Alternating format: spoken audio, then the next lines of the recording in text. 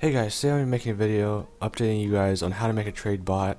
My other video got a lot of support and you guys wanted to see how to do it on a VPS so your computer didn't have to run 24-7. So this one will require you have a DigitalOcean VPS, which is $5 a month, which isn't too bad.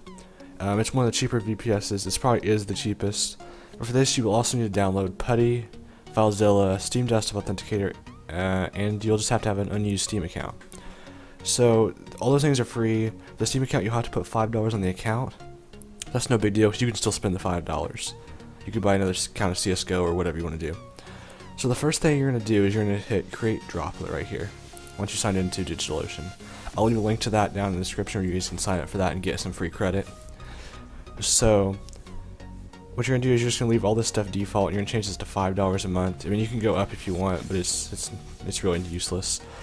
You're to pick the server that's closest to you. And mine, I'm just to use New York here. And for this, I'm just to change it to trade bot. Like that. And I'll hit create. So this will take a minute to load up.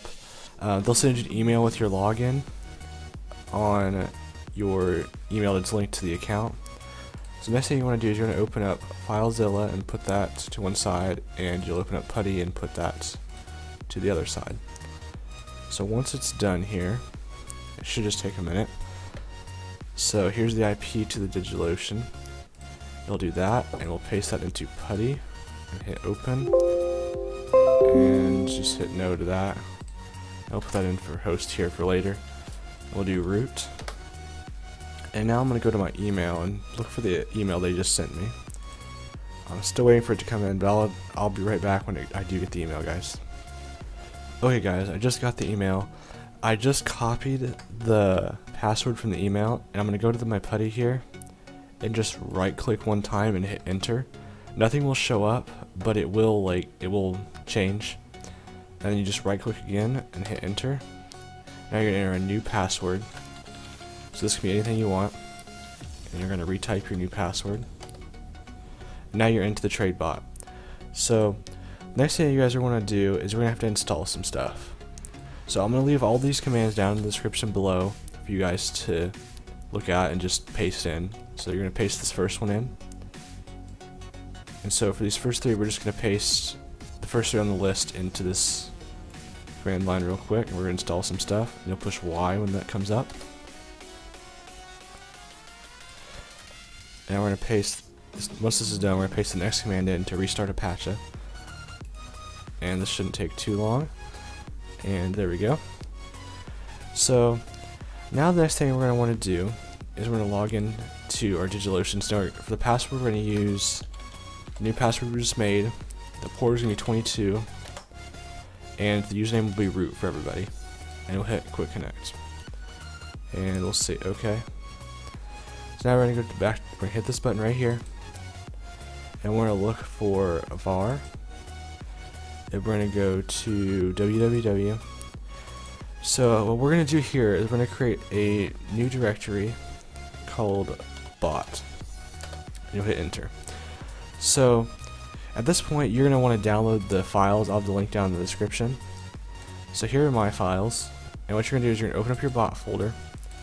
You're to open up your actual folder for the trade bot and you're to drag all these files in here. So this will take a lot a while because there are 4,000 files queued if you look down here. The node mod modules folder is like takes a lot of time. So yeah, just it, it takes a while. So when that's done, I'll be back. Oh, okay you guys, it just finished. So the next thing we're going to do is we're to go to config.json and we're to right click and hit view and edit do OK. So what we're going to do here is put all the bot's information in. So my bot's username is big Cisco. Uh, I'm trying to remember bot 01. So I'm going to put the password in off camera. For the identity and shared secret, which you're going to use, you're to need Steam Desktop Authenticator and you'll hit set up new account and you'll log in to your account on this and this will give you your codes instantly. If you have a problem reading the file I'm about to show you, hit this button here and set up encryption and get rid of the encryption. So you can close that out once you add your bot and move all this stuff to the side. You're going to open the folder that the Steam Desktop Authenticator came in and open MA files and look for the one for your bot. Mine is this one. And we're going to edit that. And see right here it says shared secret and you go all the way to the equal sign and copy that. And that's the shared secret, so you put it in here for shared secret. And now we go back and oh, this up for you guys. We're looking for identity secret. And once we see it right here, take it and copy that paste in here for identity secret. So I'll be right back after I put my password in and then we can continue on with the next step. Okay guys, I'm back. So now the next thing we can do, now we have our bot set up. The reason I had you guys install Apache was so you had this HTML file. This is technically a website too. So what you you can do is you can make a simple HTML website named index.html um, that tells people what to click on to trade with your bot. So if they find it on the internet, so like you can link the link, uh, the IP to your friends, they can click the link to trade with the bot. So I just upload the file right there. So now if we go here and paste the link into the URL, little thing, I mean, you guys should make it fancier, but I just wanted to make a quick website. So they can click this link and they can, it should link them to the bot trade page and they can, you know, send stuff to the bot and get stuff back. But I can leave this the simple the sample page in the description below. Uh, you what you will need to do is you need to put the bot Steam trade link right here instead of mine, and that's the basic layout for the site. Uh, I do suggest you guys add some stuff to it, but that's just it's good enough for now. So now you're gonna go back to the commands I have down in the comments to paste into PuTTY. You're gonna paste in the first one, and now you're gonna paste in this next one. And you're just to keep going down the list. Whenever it says that, you just push Y. We're just to go down this whole list of commands to install. And once we're at the end, the bot will be fully up and ready to go. So this one will take a little bit, I think. But if you guys need any help setting this up, just leave a comment down below, and I can help you guys out. Uh, if you guys want to take a look at the free, the full free version, like you don't have to pay for the hosting every month and all that, I'll leave an annotation on the screen at the beginning of the video and probably right now if I remember. But for sure it's going to be down in the comments and at the beginning of the video.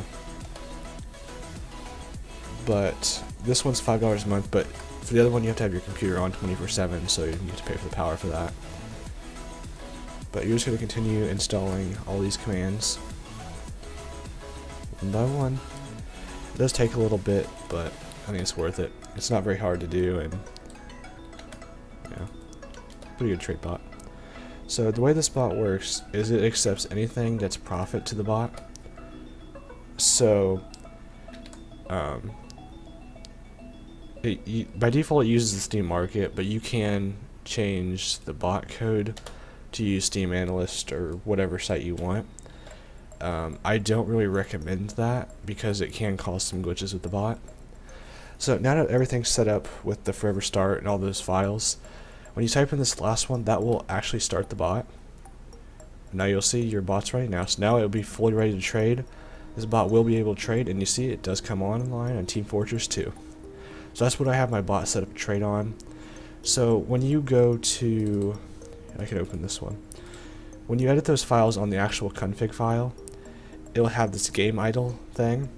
So what that's for is what game you want to idle on. So 440 is uh, Team Fortress 2, uh, 550 is Left 4 Dead 2, Dota 2 is 570, and CSGO is 730. If you don't know how to find that, you can find it on Steam, or you can just type it into Google and like, what's the Steam ID, or the game ID for whatever game.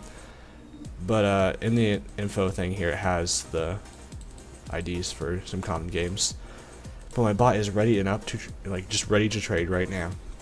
So thank you guys for watching. I think that's pretty much it. So if you have any questions, just leave a comment down in the description. Uh, I'll put a link on the screen right now if you want to go to the full free one. But thank you guys for watching. Please like, comment, subscribe.